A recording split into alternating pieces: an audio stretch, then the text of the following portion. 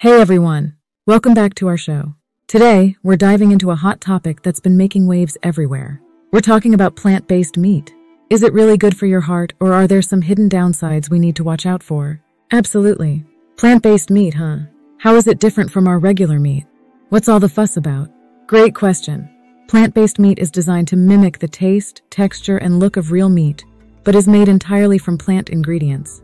Think of things like soy, peas, beans, lentils, and other veggies. Wow, that sounds pretty cool. So it's healthy for your heart, right? You got it. Unlike regular meat, which can be high in unhealthy fats, plant based meat tends to have less saturated fat. That means it's better for your heart health because it doesn't clog your arteries. Okay, so what are some of the benefits of eating plant based meat? Well, there are quite a few. For starters, lower levels of saturated fat can help reduce bad cholesterol levels in your blood. This can decrease your risk of heart disease. Plant based meats are also often rich in fiber, which is another win for your heart health. Fiber. How does that help? Fiber helps by reducing the absorption of cholesterol into your bloodstream. Plus, it keeps your digestive system running smoothly, which is always a plus. Nice. Are there other benefits we should know about? Definitely. Plant based meats can be a great source of protein without the added hormones and antibiotics that are often found in animal meats. They can also be lower in calories, which can help with weight management. A key factor in heart health. Sounds like there are a lot of good reasons to try plant based meat. But are there any drawbacks we should be aware of? There are a few, yes. One of the main concerns is that some plant based meats can be high in sodium. High sodium levels can lead to increased blood pressure, which is a risk factor for heart disease. Oh, that doesn't sound good. What can we do about that? The key is to read the labels and choose products that are lower in sodium. Also, balance your diet with other low sodium foods like fresh fruits and vegetables. Makes sense. Are there any other potential drawbacks? Another thing to consider is that while plant based meats can be a good source of protein, they sometimes lack certain nutrients found in animal products, such as vitamin B12, iron, and omega 3 fatty acids. These are important for overall health, including heart health. So, should people just avoid plant based meats then? Not at all. It's all about balance, including a variety of protein sources in your diet, such as beans, lentils, nuts, seeds, and whole grains, can help you get the nutrients you need. You might also consider fortified foods or supplements to fill in any gaps. Got it. So who should consider adding plant-based meat to their diet? Almost anyone can benefit from adding plant-based meats to their diet, especially those looking to reduce their intake of saturated fats and cholesterol. People with a family history of heart disease, or those who have been advised to follow a heart-healthy diet may find it particularly beneficial. That's awesome. It sounds like plant-based meat can be a great option if you pay attention to what you're eating and make sure you're getting a balanced diet. Exactly. It's not about replacing all meat with plant-based options, but rather incorporating them into a balanced diet to improve overall health. I think our listeners will really appreciate this information.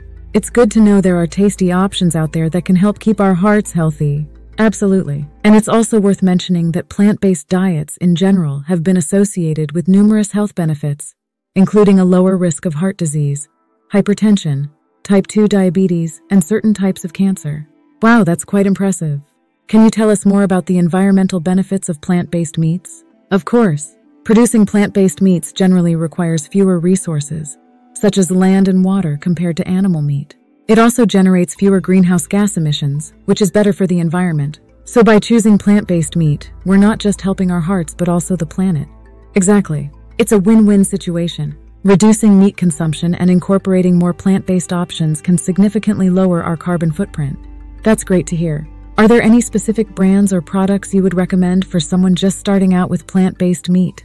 There are several popular brands that offer delicious plant-based meat options, like Beyond Meat, Impossible Foods, and Morningstar Farms. They offer a variety of products from burgers and sausages to ground meat and more. It's a good idea to try different ones to see which you like best. Cool. I've heard a lot about those brands.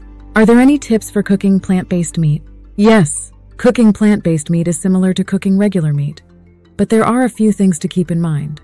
For example, some plant-based meats cook faster than animal meat, so be sure not to overcook them. Also, they tend to be more versatile, so you can get creative with your recipes. That sounds fun. Do you have any favorite recipes you'd like to share? Sure. One of my favorites is a plant-based meat taco. You just saute some plant-based ground meat with taco seasoning and then load it up in a tortilla with all your favorite toppings like lettuce, tomato, avocado, and a bit of salsa. It's quick, easy, and delicious. Yum, that sounds amazing. I'm definitely going to try that. Absolutely, give it a go. Another great recipe is plant-based spaghetti bolognese. Just use plant-based ground meat instead of regular ground beef. Add your favorite pasta sauce and serve it over whole grain spaghetti. It's a heart-healthy twist on a classic dish. I love spaghetti bolognese. That's another one for the list. So to sum it up, plant-based meat can be a great addition to our diets, especially for heart health, as long as we're mindful of sodium levels and ensure we're getting all necessary nutrients. Exactly. It's all about balance and making informed choices.